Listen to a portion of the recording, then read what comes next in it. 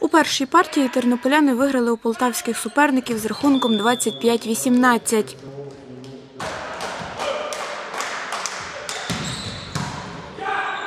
Другу партію зіграли з рахунком 25-21. В останній партії гравці Тернопільського «Динамо» забили 25 голів, а гравці команди Решетилівка – 13. Гравець команди «Динамо» Володимир Мірчев розповідає, грає під першим номером. Суперник на папері був сильніше нас. Е, Ми дуже ретельно готувалися до, до цих ігор. Е, Все-таки фінал вдома, і в нас е, попитка номер два вийти в Суперлігу. І ми не збираємося нікому віддавати е, кожну гру і будемо вдома боротися до, до кінця.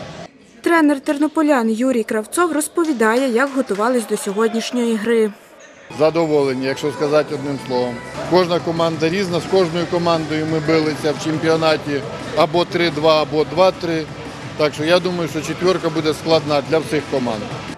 Тренер волейбольного клубу Решетилівка Сергій Поберещенко поразку команди прокоментував так. Так як ми сьогодні грали, то гравці не виконали ні одної установки тренерської, не, не було ні самовіддачі, нічого. Можна було з таким настроєм не виходити із роздівалки. От і все, що я можу сказати. Леся Продоус, Оксана Галіяш. Новини на Суспільному. Тернопіль.